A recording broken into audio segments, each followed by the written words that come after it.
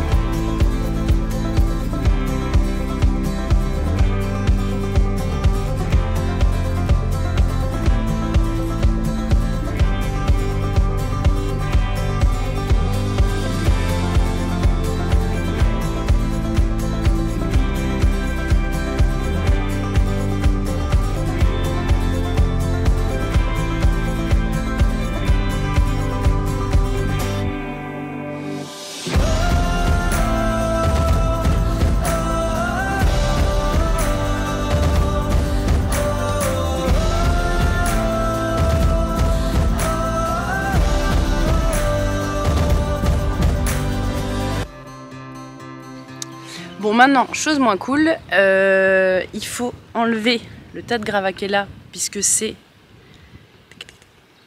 là où on va faire les fondations. Euh, c'est le tas de gravats qu'on avait béné avec le dumper. Donc c'était ce qu'on avait récupéré euh, en grattant pour l'extension du garage.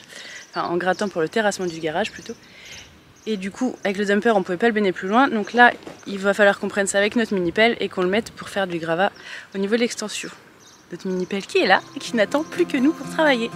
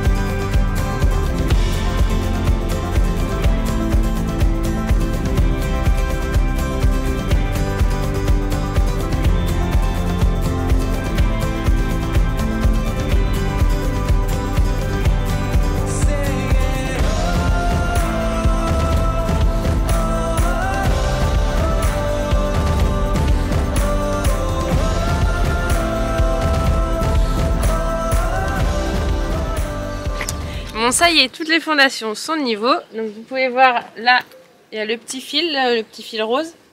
C'est pour suivre l'axe.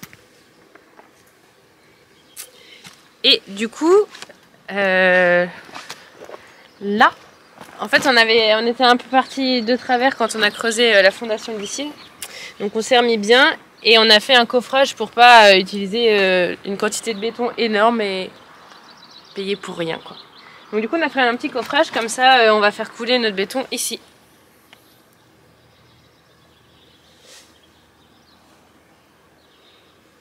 La prochaine étape, ça va être de poser, enfin de ferrailler tout ça. Donc on va utiliser du ferraillage sismique en carré pour que ce soit bien bien solide. On va tout poser en horizontal euh, partout et dans les angles par contre on les met en vertical. Et une fois que tout ça va être posé, les, deux toupies vont pouvoir venir. On a estimé là il va y avoir besoin de deux toupies. Donc c'est parti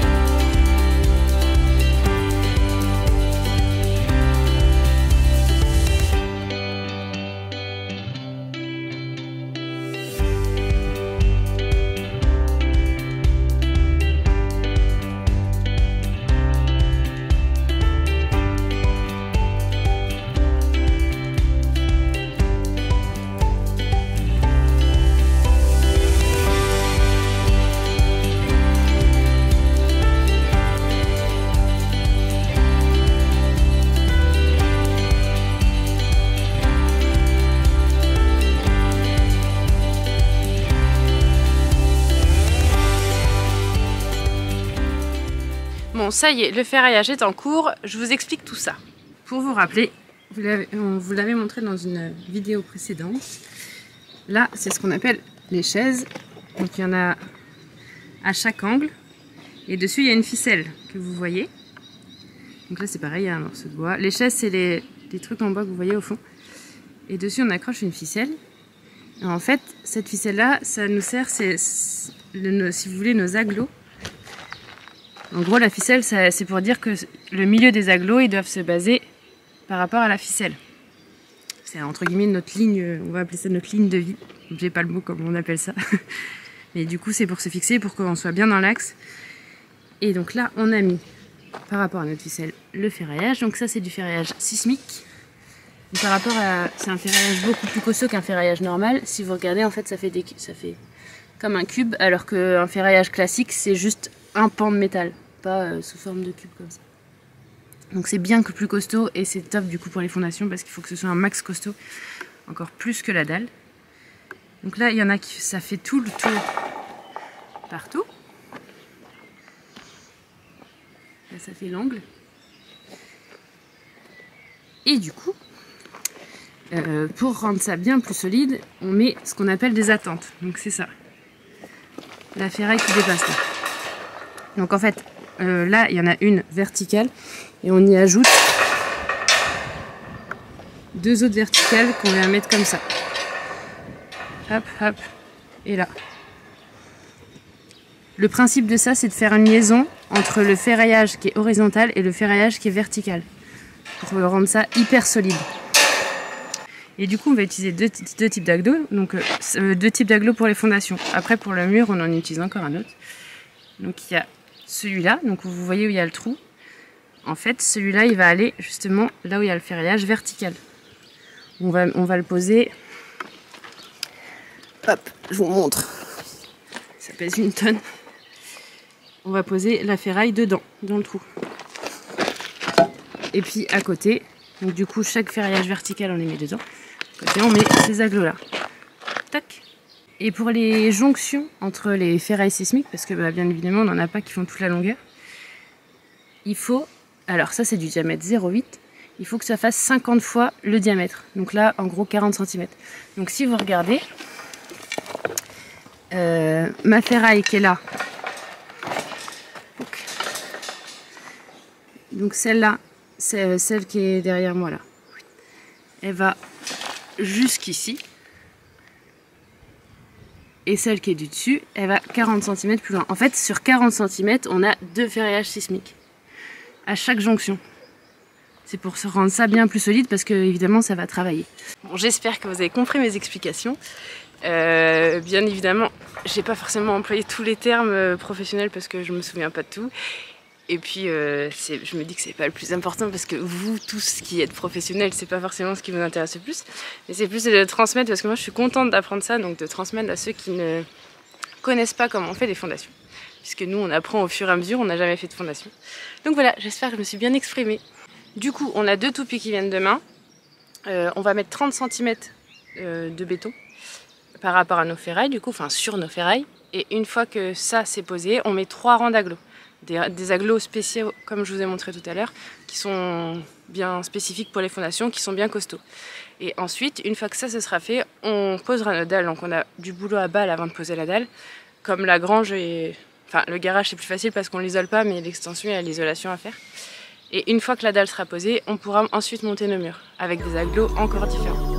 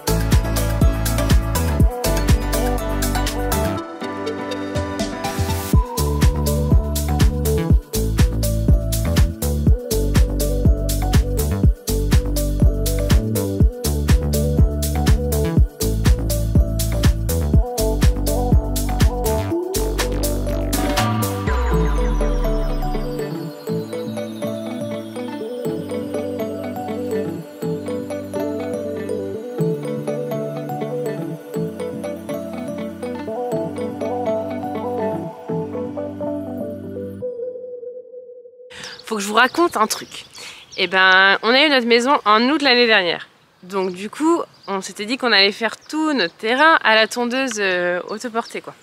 ça allait le faire et tout, mais bon, bah, vous imaginez bien, en août, ça va, l'herbe, euh, on l'attend tous les 15 jours, 3 semaines, c'est très bien, et puis arrivé septembre-octobre, une fois par mois, ça suffit, quoi. pour un jardin, non, mais pour un terrain qui sert à rien pour l'instant. Sauf que là, on arrive au printemps, c'est l'horreur parce que ça pousse tout le temps, donc c'est super cool pour plein de choses, mais pour nous, qui nous servons pas de notre jardin, c'est pénible. Et en gros, on passe entre 3 et 4 heures par semaine à tondre. Mais notre temps euh, disponible à la grange, il est, il est chronométré parce qu'entre nos boulots, nos enfants et tout. Enfin bon, bref. Et du coup, notre famille, ils sont trop gentils parce qu'ils nous ont offert, attention, roulement de tambour, un tracteur tondeuse. En vrai, mais genre ça va super vite. Bon, vous allez faire style, j'y connais rien en tracteur, mais c'est vrai, j'y connais rien en tracteur tondeuse.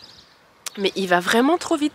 En une demi-heure, on a fait notre jardin alors qu'on mettait 3h, 3h30. Enfin, c'est super rapide, c'est super cool et du coup, on est carrément motivé à tourner la pelouse régulièrement.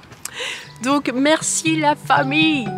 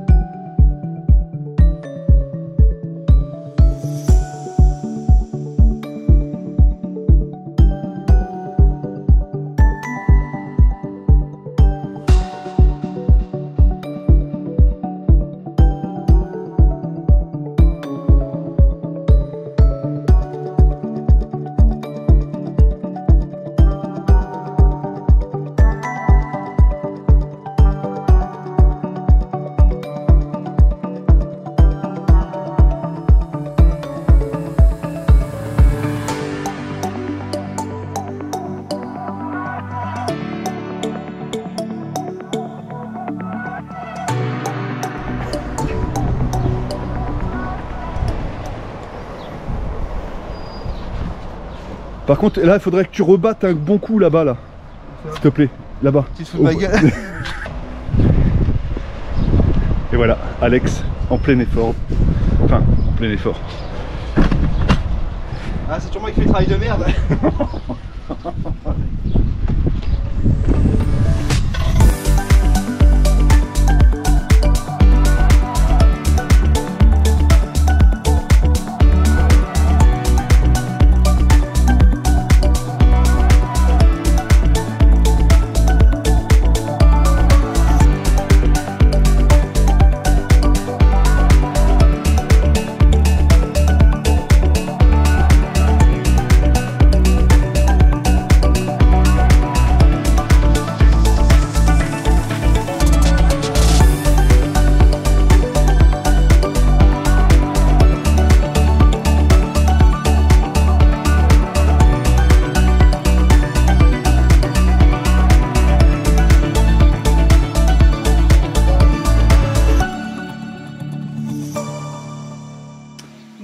comme vous voyez, les fondations, c'est fini.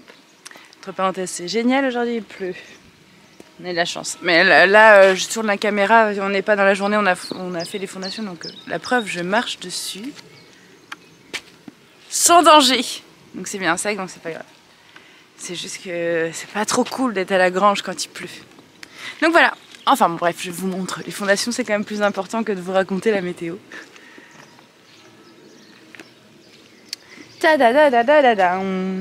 C'est trop cool. Il reste une tonne de boulot avant de pouvoir monter les murs de la grange et de l'extension, mais c'est déjà une bonne chose de faite. Tiens, d'ailleurs, je vous ai pas parlé la dernière fois de notre surprise quand euh, on a terrassé la dernière fois. En fait, le long du mur, on avait bien vu qu'il y avait une petite dalle euh, bétonnée, euh, enfin, oui, bah, si, bétonnée. Et la surprise a été, quand on a creusé avec la mini-pelle, c'est qu'on est tombé sur un ancien poteau électrique. Mais genre, figurez-vous que je comprends complètement pourquoi maintenant, quand il y a une tempête, les poteaux électriques, c'est quand même très très très très rarement... Euh, bah, ça tombe très rarement, quoi. Parce que euh, même au burineur, vous avez dû voir du coup sur la vidéo où on terrasse à mini-pelle, euh, Christian est passé un moment au burineur. Et en fait, c'est pour essayer de casser le poteau qui est ici. Et qui est énorme, il va jusque là. Et franchement, il y a passé grave un bon moment. Donc voilà, c'était la petite parenthèse. C'est quand même assez fou qu'il y ait un poteau téléphonique, enfin électrique ou téléphonique, non, électrique je pense vu la grosseur, aussi près du bâtiment quand même. Bon voilà, je vous ai fait la petite parenthèse de ce qui nous est arrivé. Surtout, si ça vous a plu en tout cas, n'hésitez pas à mettre le petit pouce en l'air, euh, à commenter et puis euh, à vous abonner si vous n'êtes pas abonné et que vous voulez nous suivre. Allez, salut